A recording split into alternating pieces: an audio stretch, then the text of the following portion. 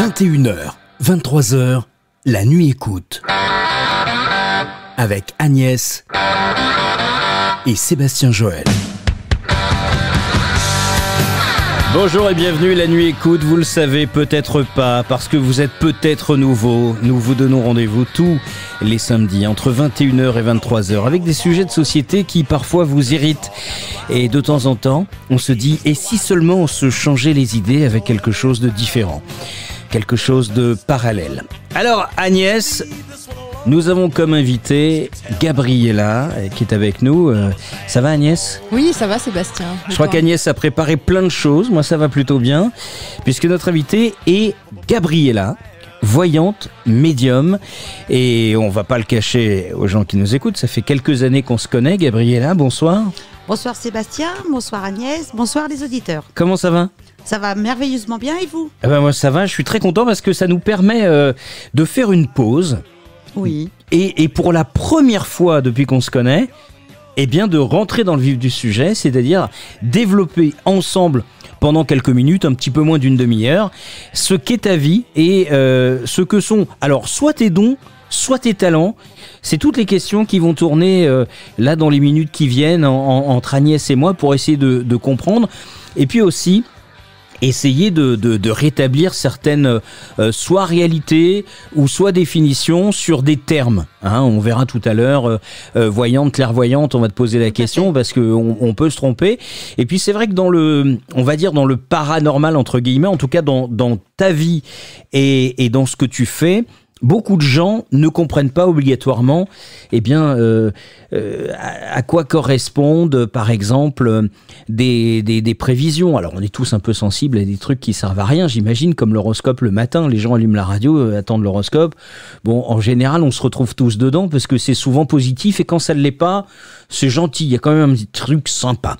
Bon, alors, revenons sur les origines de Gabriella. Gabriella, est né en Italie. Euh, tu parles italien? Pas du tout. Pas du tout italien. Deux, trois mots et c'est tout. À quel endroit tu es C'était où? Asti, à côté de Turin. Asti, comme les bouteilles qu'on débouche. Euh, oui, pour une personne qui n'aime pas l'alcool. Ah ouais, quand on fait la fête, c'est cool ça. Mais l'Asti, c'est bon. Oui, ah c'est très bon, je confirme. Ça pétille. Ouais. Et c'est bon. Ouais, c'est bon, ça c'est pas mal. Donc c'est un vin sucré. Oui, un peu comme la clairette de Die. Tout à fait. Ah exact, hmm. exact. Ça ferait plaisir à Claire qui nous écoute peut-être et qui adore ça. Comme quoi. Et donc, euh, l'Italie, tu, tu, y retournes de temps en temps ou pas du tout, non? Non, jamais. J'y suis né tout simplement. Ouais. Mais moi, mon pays, c'est la France à la base. Hein. D'accord. Ouais, ouais, ouais. Alors, c'était l'île de France pendant très, très longtemps. Euh, et depuis quelques, quelques mois, euh, ça se compte même en années maintenant. Quelques années, trois ans et demi. Tu as pris la fuite. Et alors, tu. Je suis la région. Je suis la région. Il y avait deux possibilités, Agnès la Corse ou les concurrents directs des Corses les Bretons. Les Bretons, et tu as choisi euh, eh bien l'Empire d'Astérix. Tu es au cœur de, la Bretagne. Des druides. Des druides. Bah. Ça n'a pas été un choix. Pardon. Un choix direct. Mais il faut savoir qu'avant ça, mais je parlerai de mon parcours, hein, comme tu l'as dit, j'ai vécu dans plusieurs pays. Ah oui, c'est vrai. Tu as eu la Belgique aussi. Euh, la Belgique, j'ai eu plusieurs fois le Canada. Ouais. Chypre. Quant à la France, on n'en parle pas. Cannes, euh, vers Toulouse, un petit peu partout en fait à grande voyageuse. une grande voyageuse, bah, quand tu vois mon astrologie, tu parlais d'astrologie tout à l'heure, effectivement, il faut pas confondre l'astro et l'horoscope. Deux choses différentes. Ah oui, d'accord. L'astrologie, c'est vraiment ta carte d'identité, en fait, avec tous tes paramètres, etc. Donc j'ai voyagé là où le vent m'emmenait. Je me suis un peu calmée hein, depuis quelques années, mhm. mais ceci dit, j'aime toujours le voyage. Et l'horoscope, parce que les gens qui nous écoutent, un, véritable horoscope, ça n'existe pas, parce que c'est pas personnalisé. C'est une tendance. C'est un général, voilà. C'est une tendance. Alors, on va dire tous les taureaux aujourd'hui, machin. Le, problème, c'est de se focaliser sur ce qu'on va lire le matin. Ouais. Donc, on va se conditionner sur un, texte. Et alors, ça peut arriver si on en est convaincu. Ça ne veut pas dire que ça arrive aussi forcément. Donc, euh, puis après, ça devient de la superstition, etc. Faut pas mélanger. Hein. L'horoscope, c'est vraiment, comme tu dis, la tendance. L'astrologie, là, c'est vraiment, on prend ton nom, ton prénom, ta date de naissance, l'heure, etc., ton lieu de, naissance. Mhm. Et là, on a une vraie carte d'identité qui sera unique au monde. Oui, c'est plus personnalisé, on va dire. Beaucoup plus personnalisé, c'est carrément personnalisé, et c'est pareil pour la numérologie. Ah, la nuit. Alors, La numérologie, tu, tu sais ce que c'est toi la numérologie Agnès? Oh ben, je pense un petit peu comme tout le monde. Euh, la numérologie, c'est, euh, on se base d'abord. Alors, Gabriella, tu vas me dire si je me trompe, mais sur le, les dates de naissance. Pas que. Ah. Il y Ah. a les noms, les prénoms de jeunes filles. En fonction du nombre de lettres, hein, c'est ça? Ouais, Non. les, les prénoms secondaires. Donc, si vous appelez euh, Nathalie, Yvette euh, et Gertrude, il faut calculer. Déjà, on n'a pas de chance. Pas de Si on chance. s'appelle comme ça, déjà, on n'a pas de chance. Et puis, euh, donc, il y a un calcul avec des grilles. Mais Alors, ça, c'est vraiment euh, des, des vrais numérologues. Moi, je fais de la numérologie en consultation, mais c'est de la numérologie basique, où là, je vais prendre les dates de naissance, juste pour voir certaines choses, et en fonction aussi de l'année en cours. Donc, Ah pour oui. 2021, 20 ou 22, etc. Mais ça reste du basique. Une vraie numérologie, c'est comme l'astrologie, ça prend du temps. Et là aussi, c'est unique. Pour, il y a des entreprises, par exemple, qui vont changer ou choisir un pseudo, une enseigne, en fonction du calcul qu'ils vont, qu'ils vont avoir ou qu'ils vont choisir par rapport à leur activité. D'accord. Par exemple, Gabriella aurait pu s'écrire avec deux L. Oui. C'est souvent le cas. Dans le mien, on a, on a, je dis on, mon ami numérologue et euh, moi-même avons décidé de choisir un L qui donne un chiffre en lien avec mon boulot. D'accord. Si demain j'étais euh, ou si j'avais été commerçante, peut-être que les deux L auraient été plus adéquates. Mais à la base, sur ta pièce d'identité, il y a, il y a un L. Oui. Ah oui, donc, mais C'est oui. de naissance. Alors pourquoi t'aurais choisi euh, deux ailes à ce moment-là pour, euh, pour t'envoler? Oui, C'est que ça. oui. Mais Et- je voulais rester sur Terre. Donc Là, plus une terre, aile. toi. Je suis Terre. Bah, je suis taureau, sagittaire, donc il y a les deux. D'accord. C'est-à-dire que le taureau, il est terre à terre, donc il aime la terre, tout ce qui est terre. Et le sagittaire, il aime s'envoler, d'où les voyages. Voilà. D'accord. Donc c'est bien, j'ai j'ai les deux. J'ai le ciel et la terre. Tu es équilibré. Je sais pas si je suis équilibrée, mais en tout cas, le signe est équilibré. Alors là, on, on a parlé brièvement de numérologie, on parlait tout à l'heure euh, d'une façon un peu ironique de, de- de l'horoscope, des thèmes. Est-ce que toute cette famille-là doit se réunir quand, euh, par exemple, on, reçoit quelqu'un Est-ce que, parce que tu dis de temps en temps, j'utilise la numérologie. Mais moi, je connais personne qui m'ait dit dans mon entourage un jour, tiens, j'ai pris un rendez-vous chez un numérologue. Donc là, tu donnes l'exemple d'une entreprise, c'est intéressant.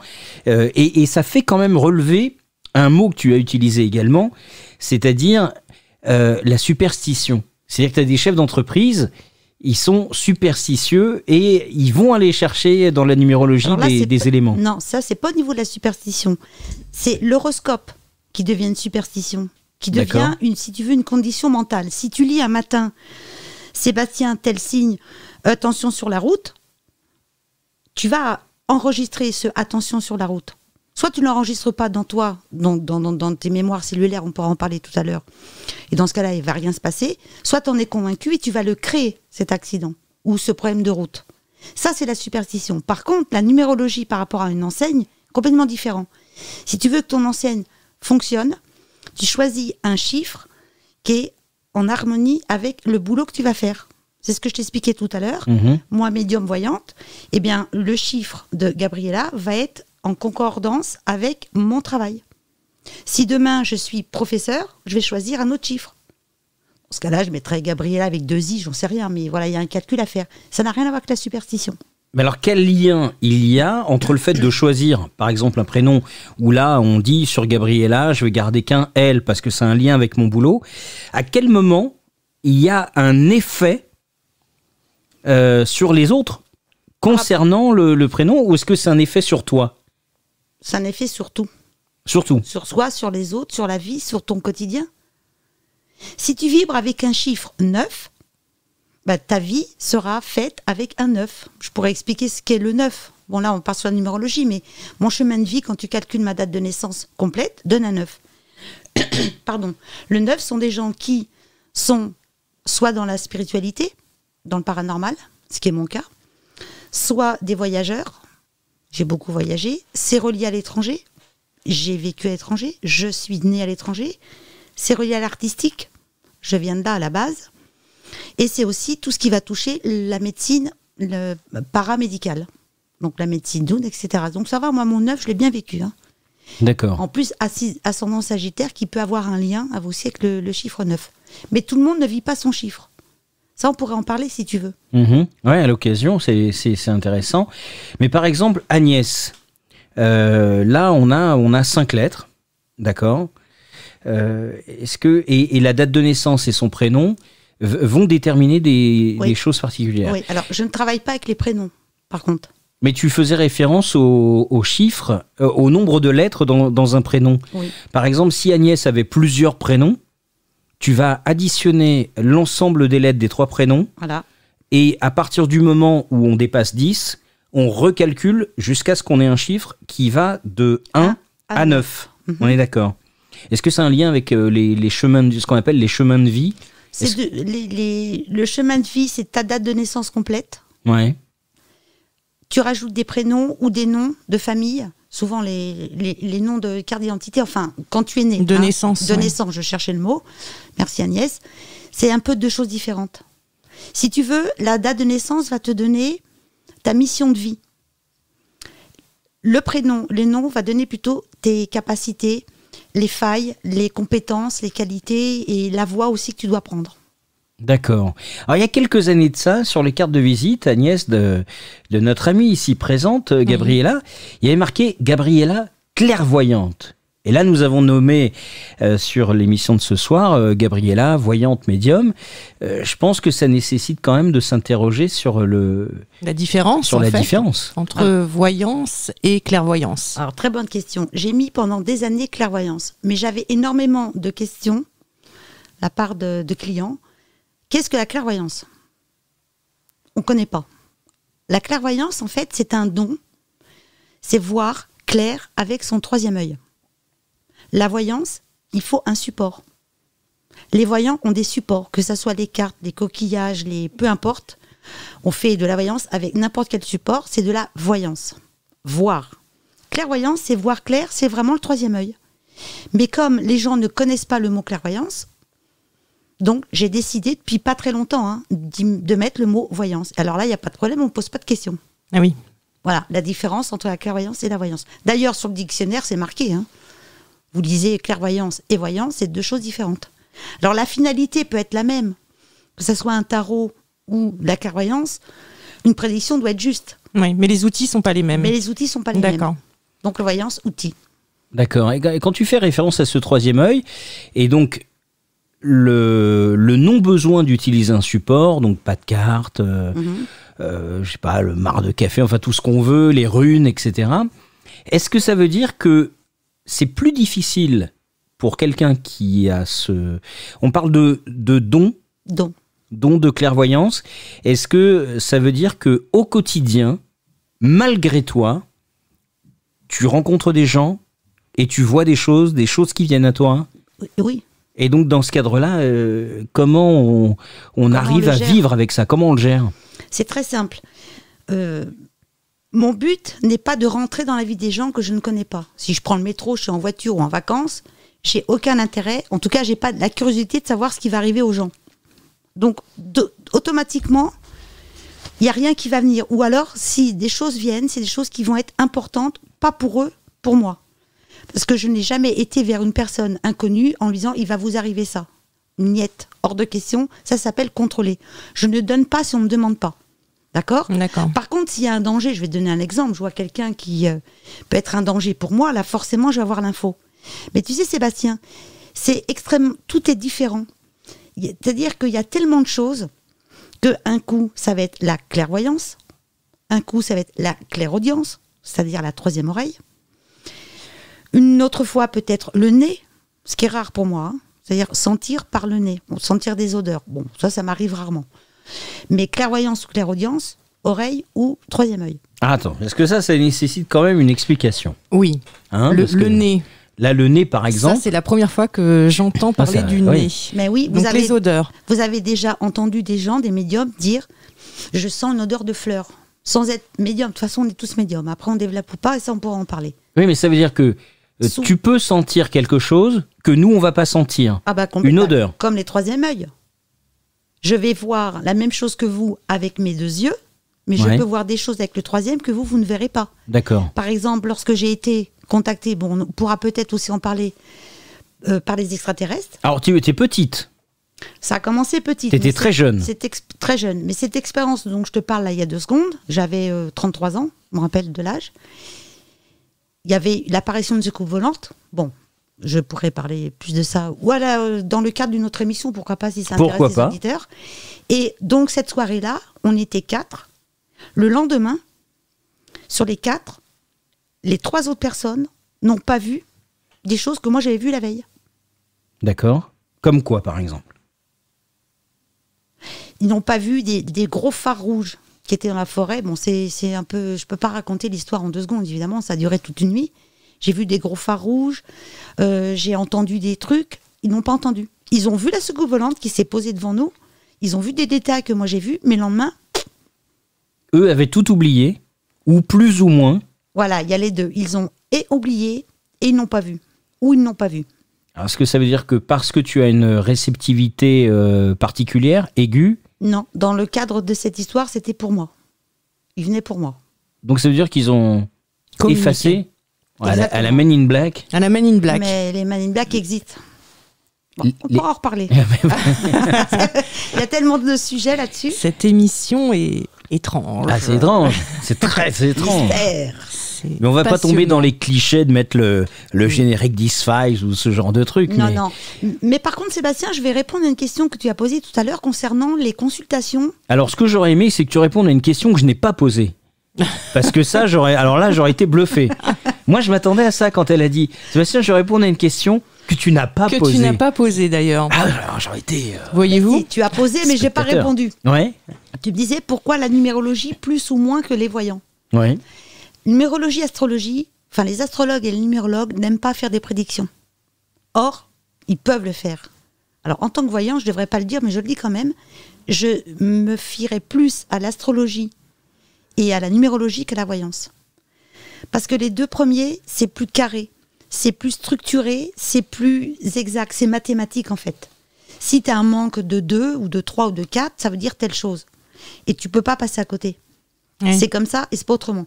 Si tu t'appelles euh, Nathalie machin truc, tu resteras Nathalie machin truc. Même si tu modifies, tu vas modifier la couleur, on va dire. Mais ils n'aiment pas faire des prédictions. Mhm. Donc, le but d'aller voir un astrologue et un numérologue, pour moi, même si je sais qu'ils peuvent faire des prédictions, ils sont plus dans le cadre où, par exemple, ce qui est intéressant, tu choisis une voie professionnelle et tu n'y arrives pas, ça te plaît pas. Tu vas voir un numérologue, un astrologue, il est capable de te dire, voilà vos capacités. Vous seriez mieux dans le domaine médical, dans le domaine commercial ou musical. Et là, c'est une direction qui est marquée. Après, on fait ou on ne fait pas. On a toujours le choix. hein. La voyance, c'est totalement différent. Les gens viennent pour un futur. Donc, il y a beaucoup plus de demandes que numérologue ou astrologue. Ça veut dire que le destin euh, est dépendant de, sa date de naissance, également de son identité. Et donc, quoi qu'on fasse, on peut naître, entre guillemets, hein, sous un mauvais chiffre ou une mauvaise étoile.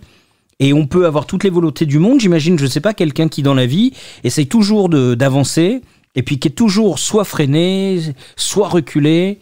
Il Oui. pourra jamais arranger ça. Il peut, mais il y a plusieurs facteurs qu'il faut mettre euh, en cause. Il peut y avoir le côté karmique.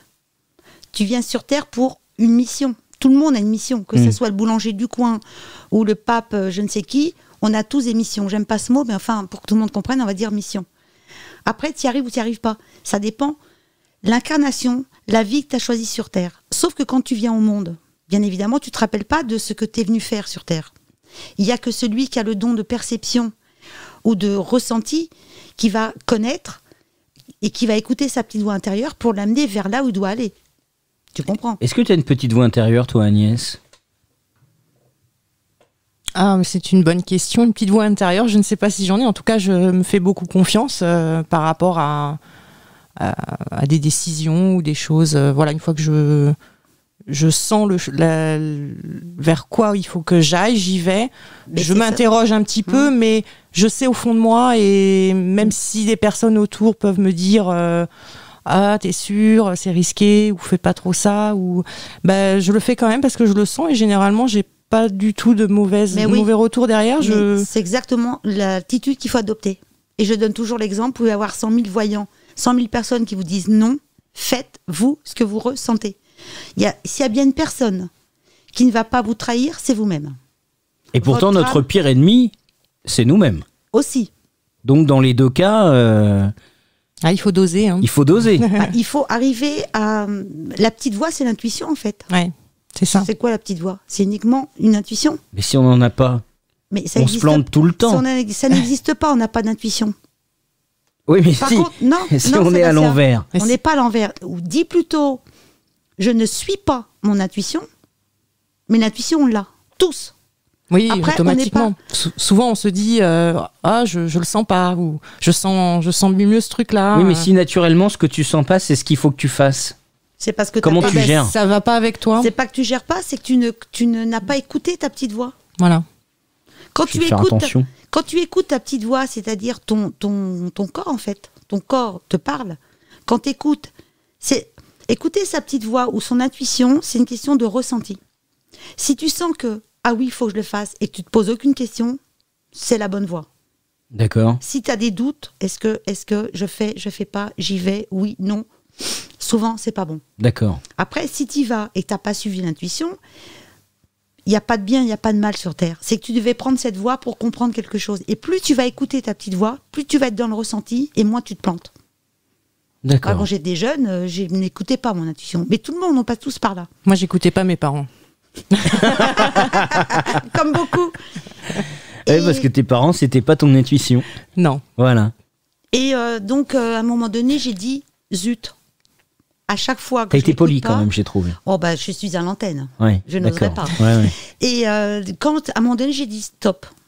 Donc là, j'ai suivi mon intuition. Tu sais pourquoi les gens ne suivent pas l'intuition? Savez-vous pourquoi?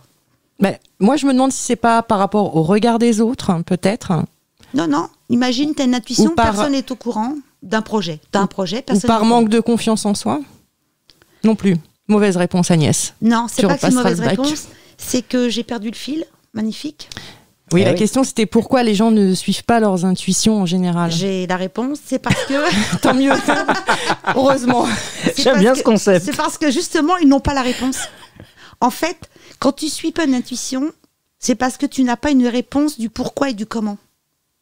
C'est de l'abstrait. C'est de l'abstrait.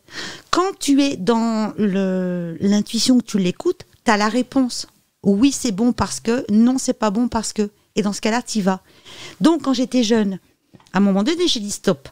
Allez, j'écoute mon intuition, mais j'ai pas de réponse, pas grave. Ah oui, c'est bon, j'avais bien fait. Et je l'ai fait une fois, deux fois, trois fois. Et après, je suis rentrée dans le moule et Oui. roule ma poule. En fait, c'est un, mécanisme à C'est un prendre. mécanisme, Voilà. Tout à fait. Mais c'est aussi apprendre à se faire confiance finalement. complètement. Ça fait partie aussi de Hmm. ça. Bah, tu sais, le problème des gens, à 95% des gens, ne sont pas dans la confiance. Ils sont dans les doutes, dans les peurs. Je n'y vais pas parce que. Mais qu'est-ce qu'on risque? Rien. Oui, à part d'apprendre et d'avancer. C'est quand même euh, le but de l'humain. Tu conseillerais à nos auditeurs de, de se faire un peu plus confiance et euh, Oui, et puis euh, je, je te répète que se tromper n'est pas un mal. C'est justement pour apprendre. C'est en, en faisant des erreurs qu'on avance. Bon, faut pas que ça dure tr- 40 ans. hein. ouais, Là, il y a un problème. Mais au départ, on fait tous des erreurs. Et c'est dans l'erreur qu'on apprend.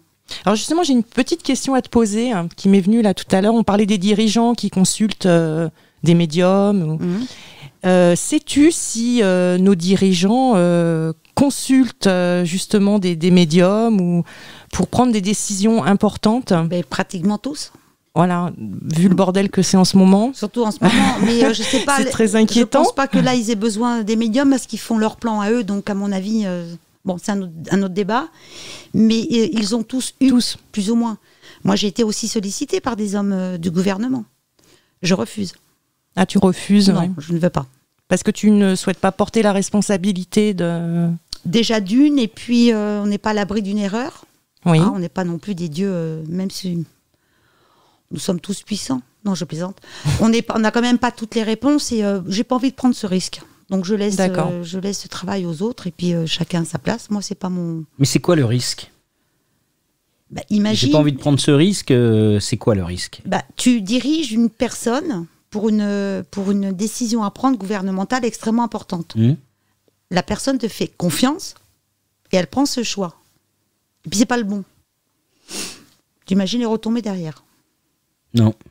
Bah, J'imagine si. pas les retombées Moi, j'imagine. Ah oui Non. C'est-à-dire que tu pourrais disparaître Il pourrait euh, te mettre dans le coffre d'une voiture et Ça pourrait. ou te couler Faisons dans un, peu menhir. te couler dans un Ou menhir. te vacciner pour te punir. Je me rappelle une fois, j'avais été. euh, Tendez le bras. pendant très très longtemps, j'allais à l'émission, euh, aux, aux répétitions de Jacques Martin. Mhm. Tous les après-midi, tu sais, le dimanche après-midi, je me rappelle du titre?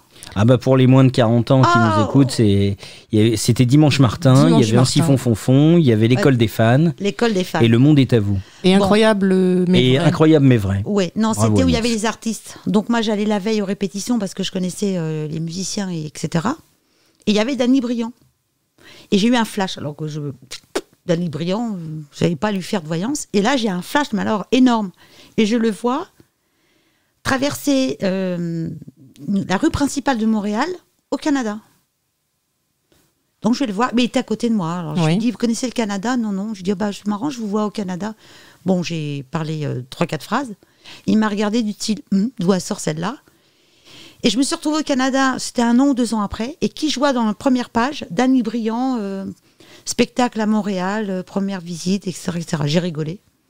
Ah oui, c'était. euh, Bon, voilà. Ça, T'aurais pu lui envoyer une facture. Oui, mais bien sûr. mais bon, voilà. Mais sinon, pour revenir à ta question, euh, tout ce qui est gouvernemental ou, ou showbiz, j'évite. mhm, D'accord. Mais moi, ce qui m'intéresse, c'est quand tu dis j'ai été contacté. Donc ça se passe comment? Qui? Alors pas qui, hein, mais qui euh, appelle et, et dit voilà, on a, on a besoin? C'est un secrétaire d'un d'un homme politique? C'est c'est c'est des gens qui sont dans l'ombre? Ou c'est quelqu'un qui qui est connu, mais c'est pas lui qui t'appelle Ah non, non, directement. c'est pas lui directement. Ça veut dire j'en ai pas eu 5 millions non plus. euh, non, mais ça veut dire quoi Qui recherche? Il y a des assistants qui appellent pour. euh, Non, mais non, ils vont prendre déjà des gens connus. D'ailleurs, les- les- le gouvernement, je suppose qu'il va prendre des gens connus. Mais si on t'a contacté, ça met quand même en avant ta notoriété. Parce Si t'es que- contacté. Parce que euh, je suis connue euh, par telle ou telle personne. Mais Ouais. c'est pas direct. On va pas choisir euh, dans les pages jaunes Gabriela Voyante. Allez hop, on appelle, on verra bien. Non, ça se passe pas comme ça. Non, mais j'imagine, bien sûr. Et puis heureusement. Ouais. Et donc ça, c'était récent? Non, pas très récent. C'est pas très récent. Mais l'histoire a montré que François Mitterrand avait Oui, consulté Jacques Chirac, tous, tous. Tous. tous, quoi qu'il arrive. J'aimerais qu'on revienne sur, euh, sur l'enfance. Toute petite, Mhm. tu découvres ce Don. ce don. Et, et ça se passe comment Et est-ce que quand on est petite, parce que je crois que tu m'as dit que c'était aux alentours de, de 9 ans, Oui, 8-9 ans. 8-9 ans, euh, c'est arrivé comment? C'est pas arrivé en fait. C'est pas arrivé Non, D'accord. en fait, ça a toujours été. euh, je, je regardais une personne dans la rue, je disais, tiens, je donne un exemple. hein, tiens, demain, ah bon, quelqu'un qui passait tout le temps dans la rue, elle sera bien en rose. Elle était en rose. Tiens, demain, il pleut, alors qu'ils annonçaient du soleil. Ou tiens, euh, telle chose. Mais moi, si veux, c'est naturel. C'est arrivé à l'adolescence où là, j'ai eu un décalage entre mes camarades de classe et moi.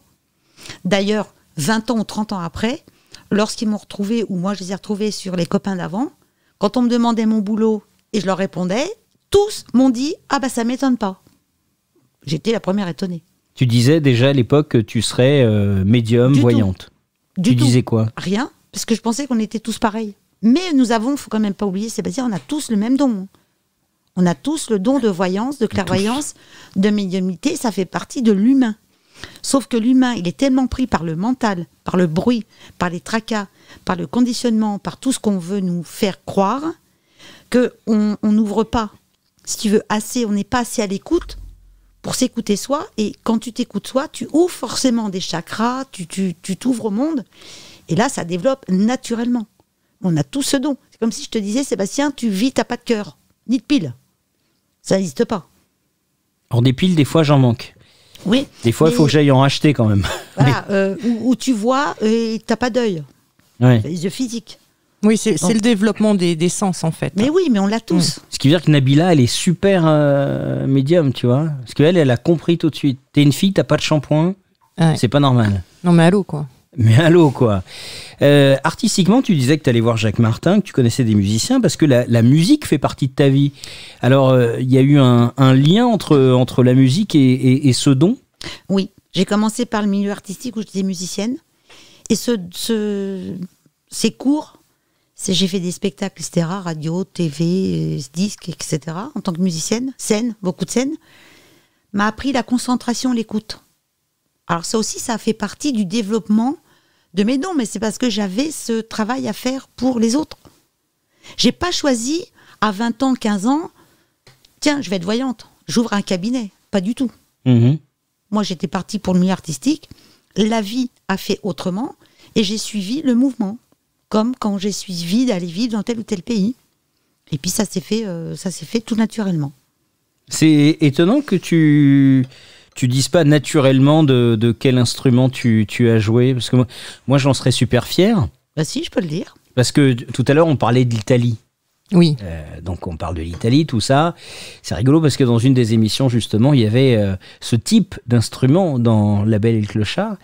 Et comme tu disais, moi mon pays c'est la France. Je crois que c'est quand même un des instruments les plus emblématiques de notre pays. Oui, je pense que tout le monde, tout le monde aura compris que c'était l'accordéon. L'accordéon, Voilà. et même du côté des présidents, hein, euh, Valéry Giscard d'Estaing qui nous a quittés. euh, D'ailleurs, je l'ai connu petite, je l'ai vu, il était à Montmorency. ouais, tu l'as vu jouer de l'accordéon? Ouais.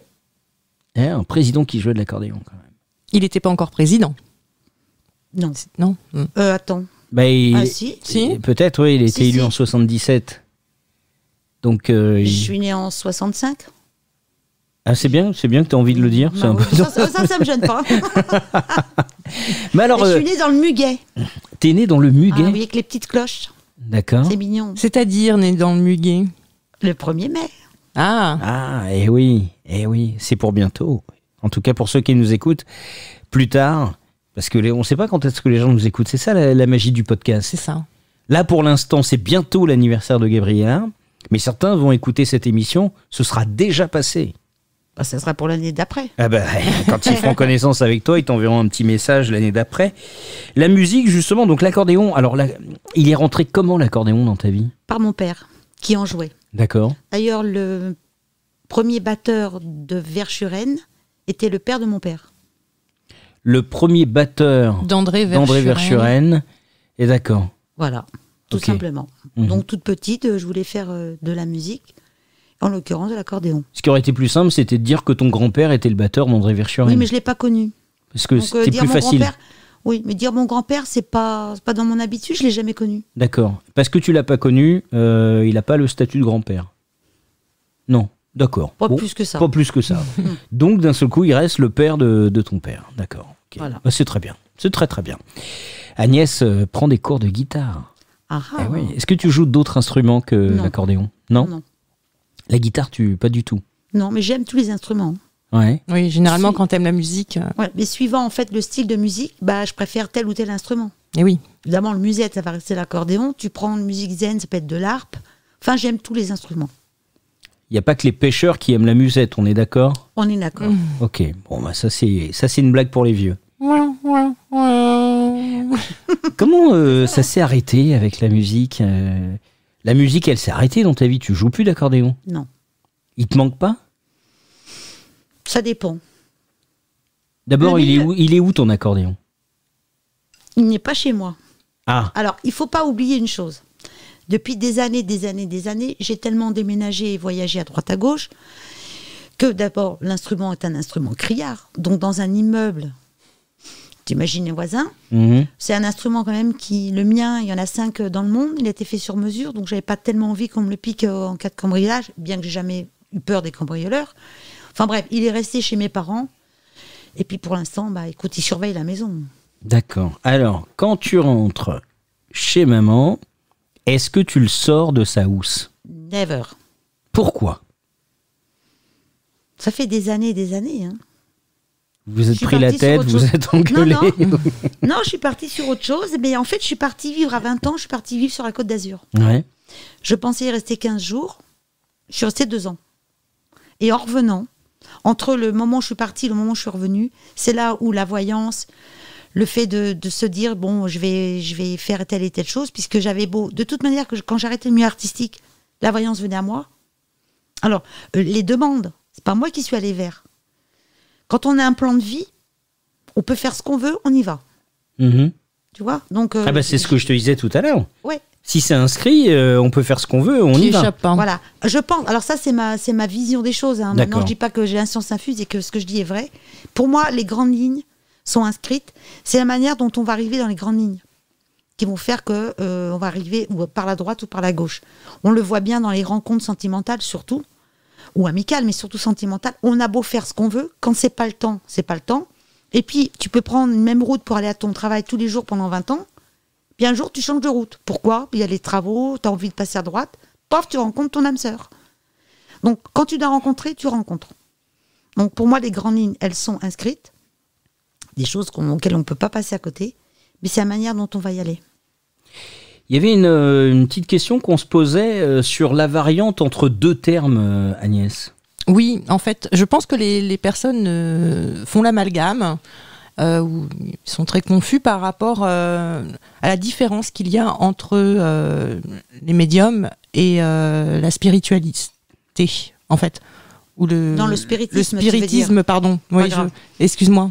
Oui, il y a, il y a une confusion. En fait, je reçois beaucoup de mails où on me dit est-ce que vous pouvez contacter ma grand-mère qui est décédée, mon oncle ou mon frère? Parce qu'il y a écrit médium.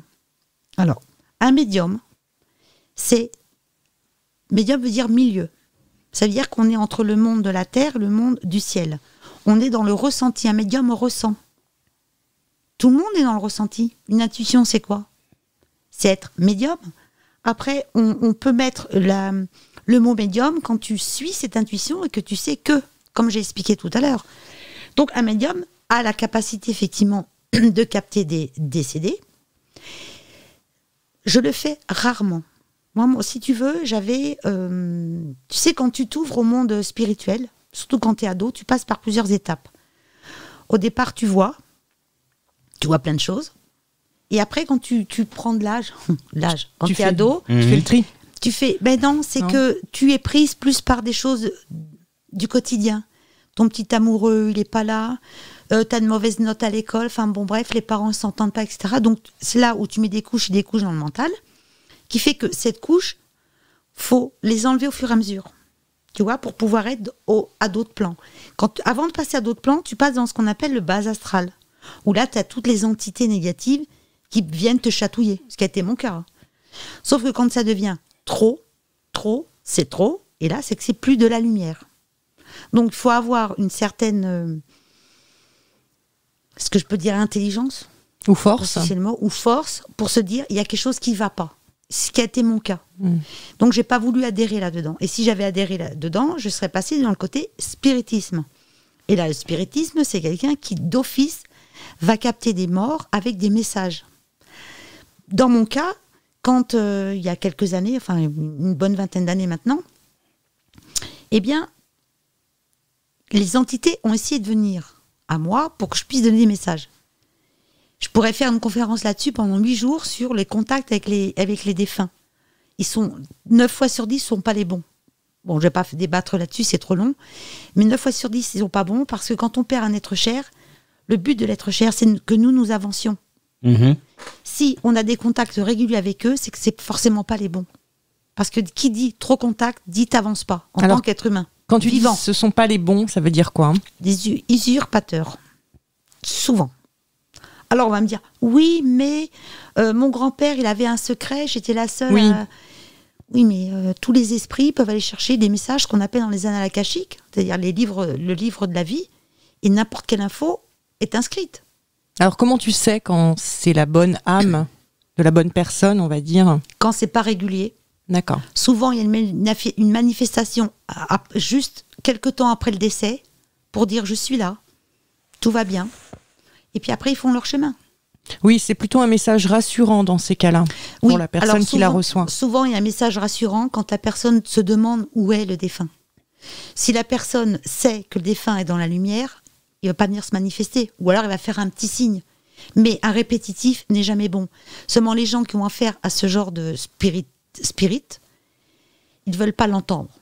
Bon, ok, bah, tant pis. Mais moi, j'ai envie de plutôt marcher dans la lumière avec les humains que plutôt de marcher qu'avec les morts. Les morts, ils ont un cheminement à faire. Il faut les élever, les aider à partir et leur dire va dans la lumière s'ils sont bloqués dans le bas astral, dans ce plan qui les bloque. Il y a, des esprits qui sont bloqués, il y a des esprits farceurs, il y a des esprits euh, qui n'arrivent pas à s'élever. C'est ce qu'on trouve dans la maison hantée. Maison hantée, ça veut dire quoi? Ça veut dire que ce sont des gens qui ont laissé des mémoires dans la maison, X mémoires. Il y a eu souvent des morts et ils n'arrivent pas à se détacher de la matière. Donc, il y a une présence. Et les gens qui achètent une maison hantée sentent. Il y a quelqu'un. Alors, comment on peut reconnaître aussi le bon d'un mauvais? Quand on a peur. Bon, tu vas me dire, un fantôme, ça fait souvent peur. Oui, Mais quand il y a une peur plus plus, il vaut mieux se méfier. Ouais. Euh, alors, moi, ça me rappelle une expérience, une maison euh, dans laquelle on avait habité, dans le Cher. On n'avait pas d'informations hein, sur cette maison, vraiment pas d'informations. À l'époque, j'ai 8-9 ans, et à chaque fois que je descendais au sous-sol, je sentais qu'il y avait quelqu'un. Mhm. Enfin, il y avait personne, mais j'avais le sentiment qu'il y avait quelqu'un. Puis il y avait une espèce de petite pièce euh, qui était comme un petit couloir, qui était pas vraiment, il n'y avait pas de dalle, c'était plutôt des cailloux dans lequel tu pouvais entreposer ton bois. Et quelques mois plus tard, on a appris que dans cette maison, le propriétaire avait tué sa femme Ah oui? Et qu'il l'avait tuée dans cette petite pièce. Oui. Et Ah. donc, euh, je, je ressentais la présence de quelqu'un qui, qui n'était pas là. Mais est-ce que je ressentais la présence justement de cette femme? Oui. Ça veut dire qu'elle... Elle... Elle a besoin d'être de passer dans la lumière. D'accord. Elle est sans doute enfermée. Il faut savoir qu'une tuerie, c'est un choc. C'est violent. Donc, il y a des morts, des fois, ils savent pas qu'ils sont morts. Quand tu meurs d'une maladie lente ou longue, tu as le temps de passer dans l'autre euh, état. Une mort violente, un accident, euh, un suicide, tu le vois pas. Donc, ils savent pas. Donc, Ils savent pas s'ils sont morts. Ils savent pas. Donc, mais est-ce que ça veut dire qu'on on ne les voit plus, mais ils sont là? Oui. Un Et- médium va le voir. Et comment ils vivent Puisqu'ils ne sont plus matérialisés? C'est une énergie. Ils n'ont pas besoin de se nourrir de pommes de terre, de steak haché ou de poulet. Parce que nous, là, euh, nous, on se voit, là, on se parle. euh, et et est-ce que je peux être enfermé finalement dans une sorte d'aura, avoir le sentiment d'exister et, et- et d'avoir de la matière, et de souffrir de. Si par exemple j'étais plus là, là, maintenant, et que je vous vois, et que vous ne m'entendez pas parce que justement je n'ai plus la faculté de vous parler, ça doit être un enfer. Si, tu auras toujours la faculté de nous contacter. Tu passeras par un médium qui va avoir la, la- la- la faculté de te capter et de- d'entendre ton besoin. Et si tu es enfermé, Hmm eh ben, tu vas passer par un médium, mais pas n'importe quel médium. Le médium qui va être susceptible de rencontrer la personne que tu as fréquentée quand tu étais vivant. Mais c'est aux personnes qui restent d'avoir un ressenti et de faire appel à un médium. Pas forcément, tout le monde n'est pas dans le ressenti. Tout le monde ne va pas capter que l'autre a besoin d'aide. Mais si personne se rend compte que la personne n'est pas là, Eh ben, elle peut être enfermée, mais elle reste enfermée à vitam aeternam. Oui, elle peut. Mais Et donc c'est une que- souffrance. Ça veut dire que cette femme, par exemple, Mm. si je la ressens dans cette maison, elle a été tuée par son mari, elle est là, elle a besoin d'être libérée. Donc moi je comprends pas comment on peut la libérer puisque là tu nous expliques un peu euh, qu'elle existe. Euh, qui va venir la libérer cette femme? Ça se trouve elle est encore dans cette maison. Oui, mais n'oublie pas que dans l'espace, alors je dis l'espace pour que tout le monde comprend, comprenne, il n'y a pas de temps. Mhm. C'est-à-dire que nous, un siècle de vie sur Terre peut faire une seconde pour eux. Donc il n'y a pas la souffrance du temps. D'accord. Donc déjà ça, ça n'existe pas pour eux. Ça n'existe plus en tout cas. Mhm. Mais un, moment- un jour ou l'autre, ils seront obligatoirement libérés. Mais le temps, ça peut être deux ans, trois siècles. D'accord. Et un, un enfant, un, un jeune ado euh, qui, qui disparaît, par exemple, euh, à l'âge de 17 ans, Mhm. ça va être quoi sa vie? Là-haut, en tant que défunt et étant ado? Souvent, les jeunes qui partent sont venus sur Terre pour laisser un enseignement aux parents. Mhm. Alors, les parents qui perdent un enfant ont du mal à l'entendre, ce qui est logique. Mais on reste pas euh, très peu de temps sur Terre pour le plaisir. On ne dit pas on va s'incarner, hop, on part à 15 ans. Non, c'est souvent, c'est pour donner un apprentissage à l'entourage. C'est atroce. Non, c'est pas atroce. C'est atroce pour les parents, Ben oui. Oui, mais, les parents, ceux qui le savent, ils le comprennent. D'ailleurs, tu as des gens qui perdent des enfants et qui sont euh, bien Parce qu'ils savent ce qui se passe, ils savent le pourquoi. Quand tu sais les choses, tu n'es plus dans la souffrance. Tu es dans la souffrance quand tu ne sais pas. Mais on est très peu à être initié. Oui, Donc ce sont des centaines de milliers, des millions de gens qui souffrent de perdre un être cher. Euh, là, je donne l'exemple d'un- jeune. Après, c'est c'est pas obligatoirement un jeune, mais c'est intéressant ta réponse par rapport au fait qu'il soit jeune, tu vois. Mais euh, quand tu perds un membre de ta famille qui est âgé, par exemple, euh, là, dans ce cas-là, il n'y a pas de message. si, il peut y avoir un message. Ah, par rapport à l'entourage? Ouais, Moins, non. c'est ça. Non. Mais on va mieux l'accepter. Pourquoi on accepterait plus une personne de 92 ans qu'une personne de 15 ans? Personnellement, alors ça peut choquer ce que je veux dire. Personnellement, il a son plan de vie. Ça me choque pas plus l'un ou l'autre. T'en penses quoi, toi, Agnès? Bah, ce que je pense, c'est que les, les, les parents ne sont jamais prêts à perdre euh, un enfant. Donc, ils ne peuvent pas euh, être dans. Dans l'acceptation. Voilà, dans l'acceptation. Alors, je vais essayer peut-être de résumer hein, euh, une chose. Je parlais de karma tout à l'heure. Pour celui ou celle qui croit aux vies antérieures, donc karma. Hein, tu meurs, tu reviens, tu meurs, tu reviens. Avant de s'incarner, tiens, on va prendre nous trois. Mhm. Avant de naître, on s'est concertés tous les trois en se disant, bah tiens, Sébastien, il sera animateur, il y aura Agnès, il y aura une Gabriella, ils seront amis, ils vont se rencontrer à telle date et ils vont faire des choses. On va se dire, ok, c'est un contrat, on accepte, on descend. On vient au monde. Bien évidemment, on n'a pas cette mémoire de ce qu'on s'est dit avant. Mhm. C'est la même chose quand tu perds un enfant. Un parent va choisir un enfant, comme un enfant va choisir ses parents, c'est comme un contrat, si tu veux. Il s'incarne avec des dates évidemment différentes, et arrive un drame. L'enfant, lorsqu'il part, il sait qu'il a fait sa mission. Il savait qu'il partirait à telle, telle, heure et telle année, dans telle circonstance. Mais les parents n'ont pas cette mémoire. Donc ils sont dans les pleurs. S'ils savaient que c'était un contrat pour X choses, parce que je te répète que c'est pour l'entourage souvent, eh ben on est dans l'acceptation. Et on avance. Ouais, c'est compliqué à. Ouais. C'est simple et compliqué. À la fois, moi, j'ai lu un, un très bon livre euh, qui m'a qui résume un petit peu tout ce que tu nous expliques. Euh, ça s'appelle le, Le couloir des élus.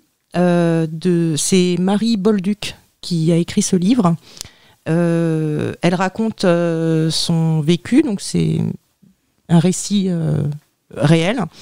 Et, euh, et je conseille vraiment à, à tout le monde, parce que c'est un livre qui est très simple à lire et à comprendre. Et ça explique beaucoup euh, ce que tu, nous, tout- que tu nous dis euh, depuis tout à l'heure.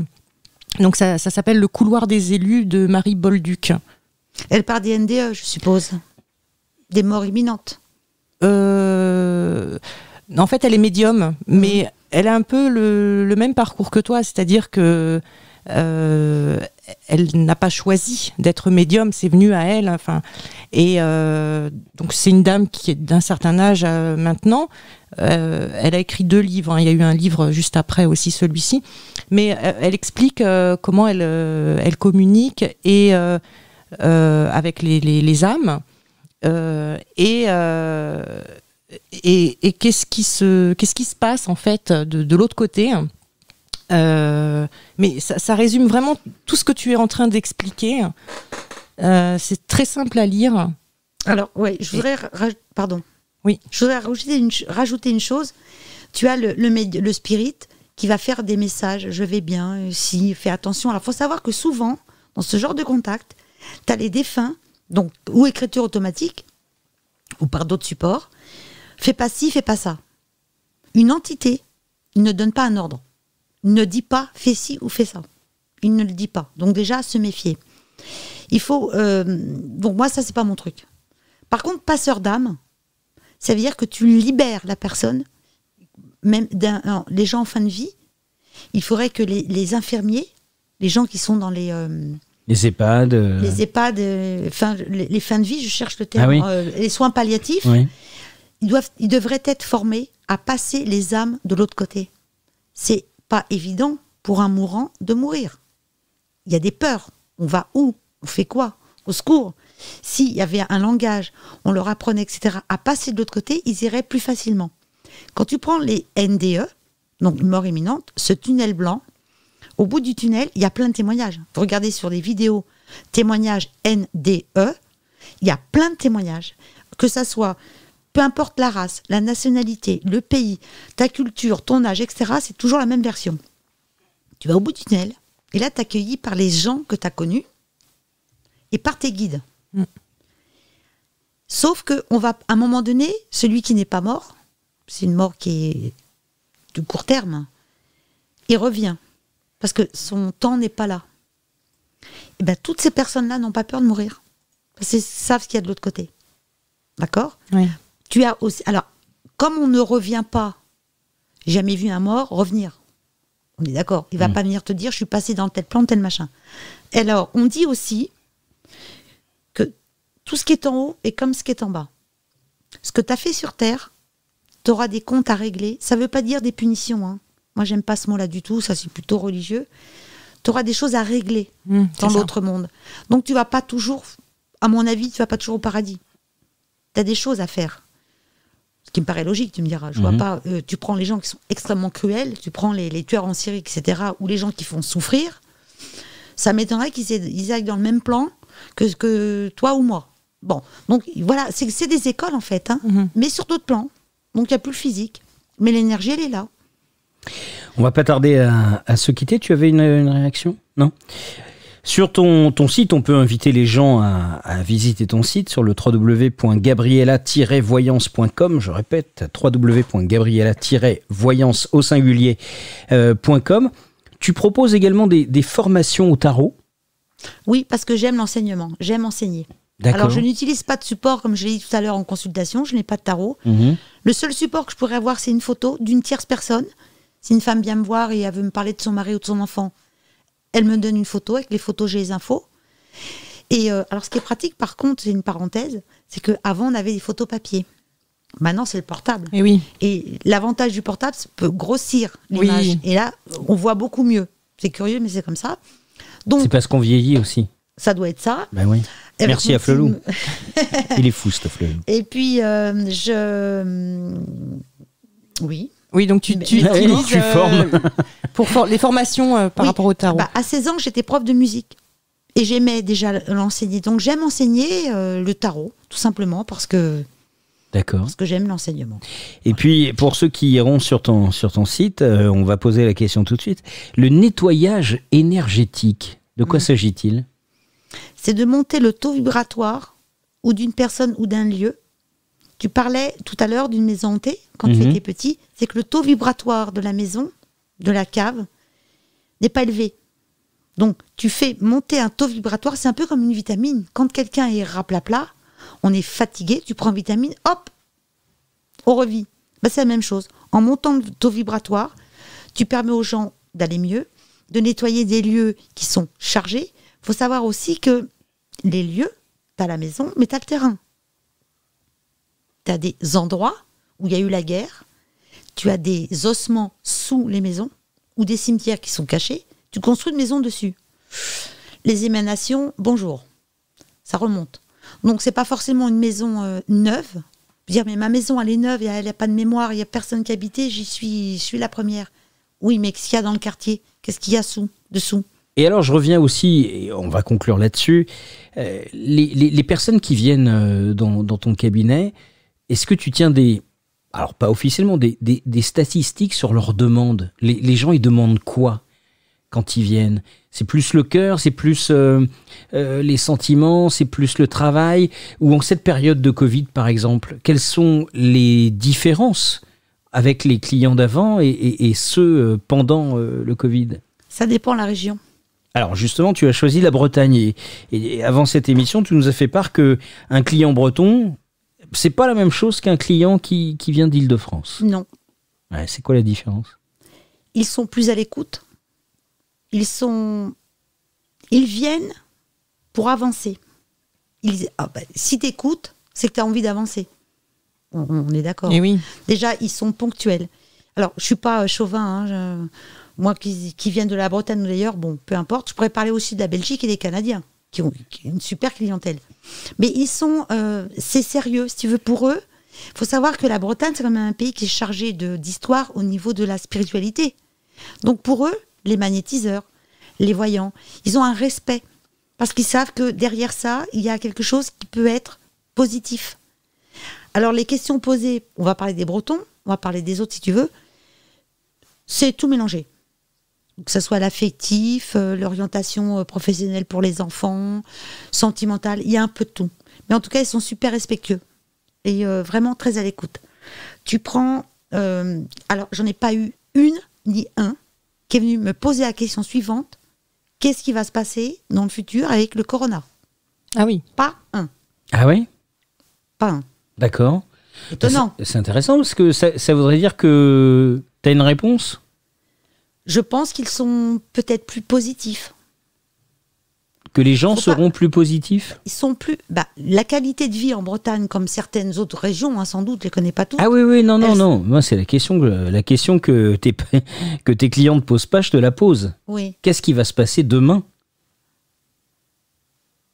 Au niveau du corona?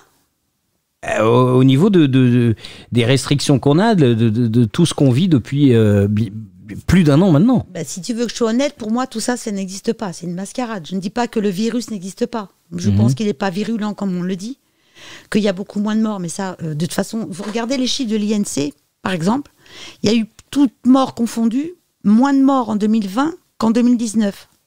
Qu'on m'explique. Oui. Le coronavirus est moins dangereux que la grippe. Beaucoup moins de morts avec le corona qu'avec la grippe. Qu'on m'explique. Qu'on m'explique pourquoi on parle plus de grippe. Ça a disparu. Pour moi, c'est un virus, comme un autre. Alors là, si je rentre dans les détails, on peut aller loin, mais pour moi, euh, c'est une mascarade. hein. Le but de tout ça, c'est de faire peur aux gens. N'ayez pas peur. La chose qui va tuer les gens, c'est la peur. N'ayez pas peur. On a fait la même chose avec le sida. Ah là là, on s'approche pas parce que on peut choper le sida. Ah là là, il faut, on ne peut rien faire. Si vous restez confiant, j'ai donné une conférence la semaine dernière en Bretagne justement sur le passage de l'ombre à la lumière. Si vous restez centré, confiant, que vous n'avez pas peur, vous ne risquez rien. Il y a bien une expression qui dit euh, le danger. euh. La peur La n'évite peur n'évite pas, pas, le danger. C'est pas anodin, ça non plus. Donc, il faut pas avoir peur. Moi, quand je vois les gens qui ont des masques jusqu'aux yeux, et que, ici surtout, hein, dans la région parisienne, plus qu'en Bretagne, ils s'écartent de 3 mètres. Mais il y a écrit la peste. Faut, faut arrêter. Mais ça, c'est quoi?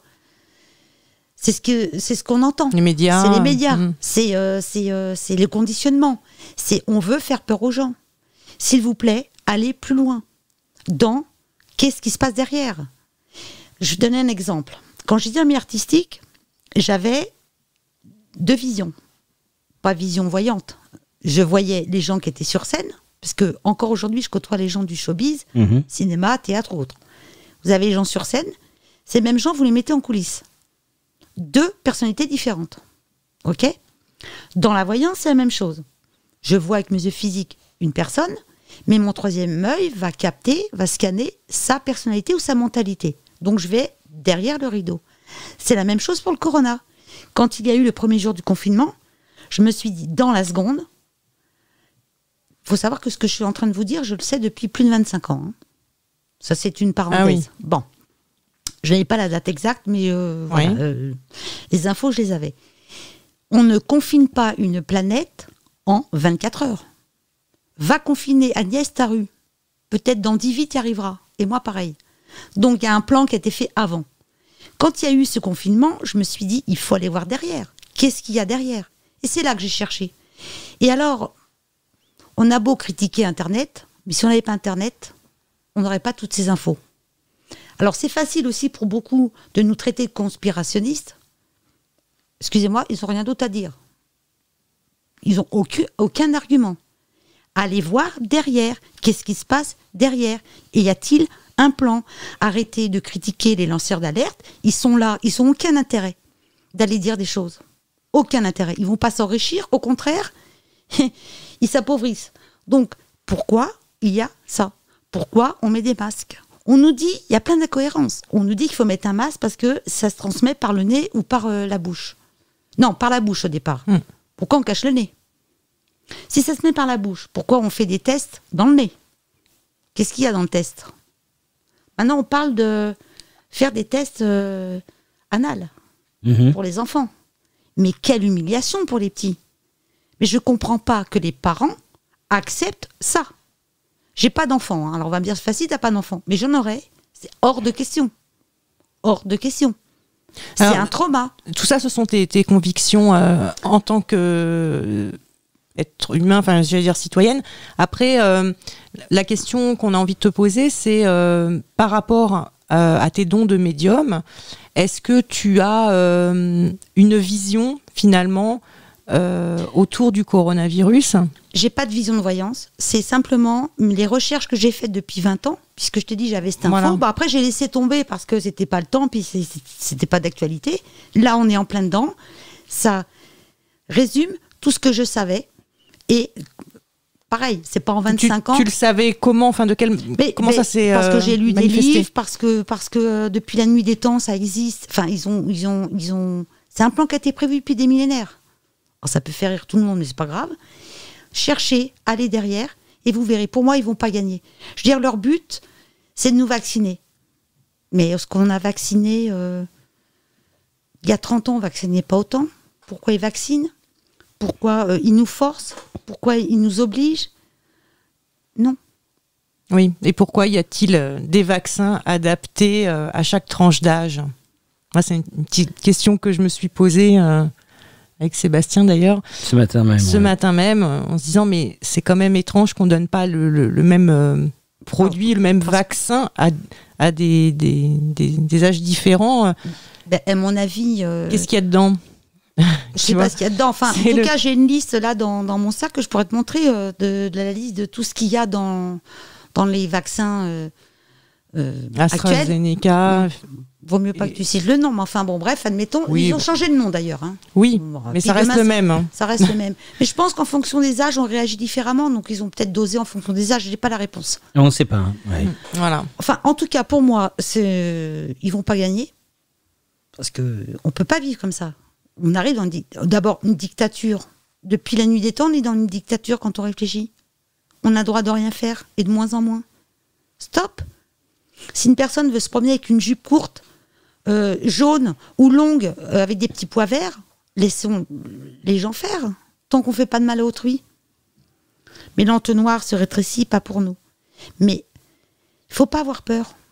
faut pas avoir peur. Regardez l'origine de ce qui se passe et de pourquoi le corona. Pourquoi le corona, le, le Covid-19 Alors maintenant, il y a le Covid-21. Oui, Puis demain, ils vont nous mettre le une 22. variante. Ils sont inspirés de Rocky, en fait. Bon, ça doit être ça. Mais bon, moi, en tout cas, j'y crois pas du tout. Ceci dit, j'ai pas envie de convaincre. Chacun est libre, chacun a son chemin. Moi, j'y crois pas depuis le début et depuis, de toute façon, depuis tout le temps. Ça m'a pas, enché- pas empêché de vivre. Ça n'a pas changé ma clientèle. Moi, ma clientèle, en tout cas bretonne, elle n'est pas dans la peur. Pas du tout. Oui, la preuve, c'est qu'ils te t'interrogent pas finalement sur, euh, Pas un. sur le Covid. C'est Mm. curieux, hein Ah oui. Ils sont costauds, les Bretons. hein. Ah, ils sont, Ah, ils sont costauds les Bretons. Notre invité était Gabriella. Vous pouvez en savoir plus sur le www.gabriella-voyance.com. Merci Gabriella. On a passé une heure Merci ensemble. Oh là là, que le temps passe. Le temps passe vite. Merci Agnès. Merci à Gabriella d'avoir accepté notre invitation. Merci, au plaisir. Et si vous avez écouté cette émission, partagez-la évidemment. Et puis allez fouiller hein, sur la page YouTube. Il y a plein d'autres invités qu'on vous invite à découvrir. 21h, 23h, la nuit écoute. Avec Agnès et Sébastien Joël.